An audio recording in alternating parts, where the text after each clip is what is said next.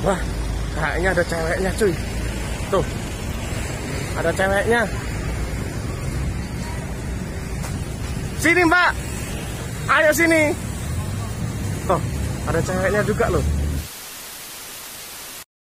Pertemuan sama anak Vespa. Ini motor Vespa standaran, ini motor Vespa ekstrim. Wow, dan cuy. Kita temuin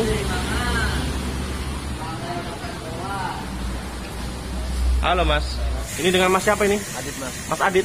Dari mana? Palembang. Dari Palembang cuy. Mas Adit dari Palembang. Oke, kita mau tanya-tanya. Mas sampean udah berapa tahun Mas minggat dari Palembang? Baru mau setahun mas. Setahun belum pernah pulang ke rumah. Iya. Belum pernah pulang ke rumah setahun cuy ini. Jalan-jalan terus ya cuy ya. Wow, parah cuy.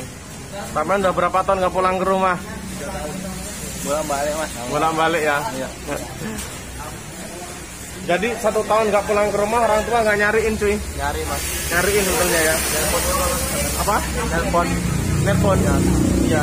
Kalau kangen sama ibunya nelpon ya. Iya. Ya lah, pokoknya kalau orang tua nelpon, orang tua sakit, orang tua membutuhkan tenaga sampean. Keluarga yang butuhkan keluarga yang terutama kan ya. Iya benar yang utama ini keluarga ya. Terus saya mau tanya nih mas, ini tanduk apa apa ini mas? Maaf mas. Kayu mas. Oh ini kayu. Ya bentuk. Ini kayu ya cuy ya. Apa nggak sakit ini mas? Enggak mas. Enggak. Jangan. Udah biasa ya. Yang sebelah sana? Enggak ada mas. Nggak ada sebelah sini ya. Terus sampean kalau mandi di mana?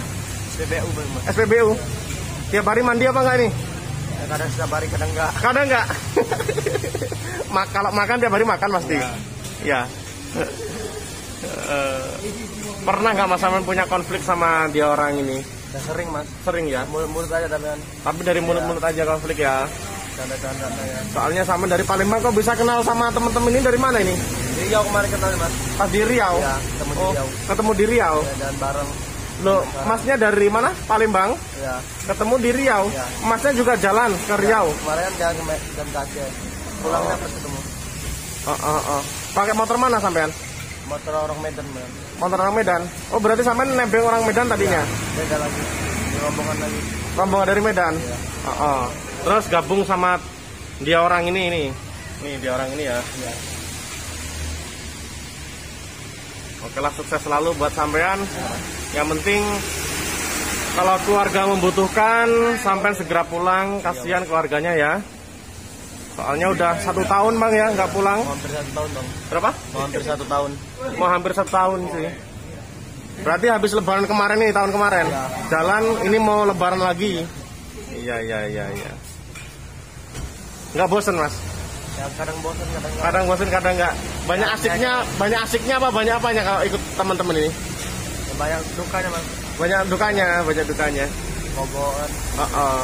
Kalau pesan saya buat sampean, sampean kan masih muda, ya oke lah kayak gini ya di tahun dua tahun tiga tahun lagi masnya sudah cukup umur umur buat keluarga kalau bisa kak masnya eh, Ya.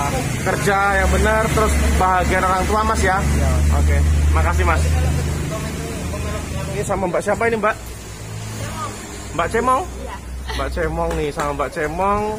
Ini kayaknya salah satu anggota dari teman-teman Vespa kita ini ya nih. Ada yang spesial sini sama Mbak Cemong nih.